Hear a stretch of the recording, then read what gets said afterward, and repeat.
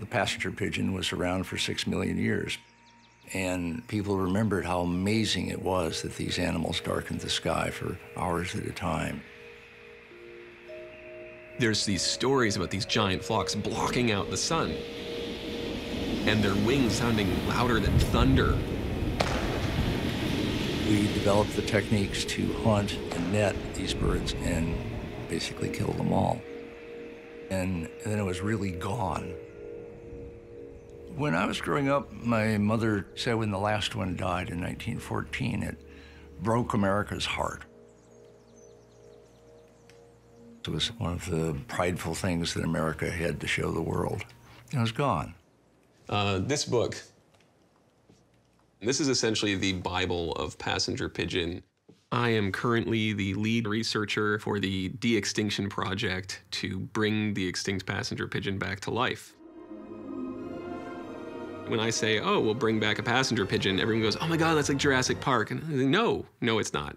Not at all. Our scientists have done things which nobody's ever done before. Yeah, yeah, but your scientists were so preoccupied with whether or not they could, they didn't stop to think if they should.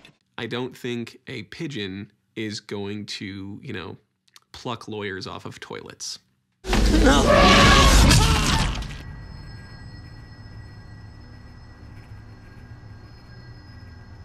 So how we're actually going to go about de-extinction? Every organism has a unique code in their genes. This one would be good, I think. So these are actual DNA codes from a chunk of a passenger pigeon foot. Now, if you can get DNA, then we can actually make it into a living cell. We're going to sequence its whole genome. We're gonna build from scratch the code that is a passenger pigeon, one gene at a time, compare it to its closest relative.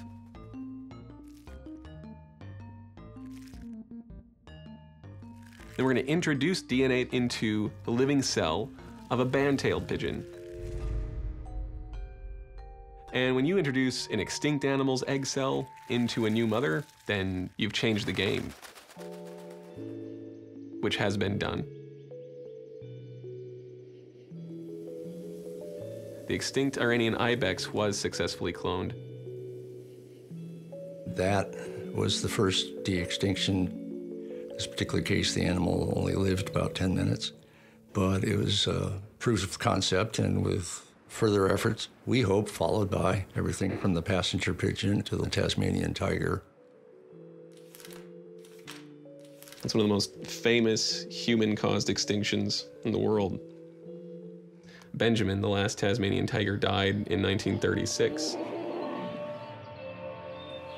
It was our direct activity that caused that extinction. For me, biotech is the future of conservation because our meddling is not unnatural. It is what species do. One of the things that we've gotten used to is the horrifying realization that extinction is forever. But what if the new truth is that de-extinction is forever?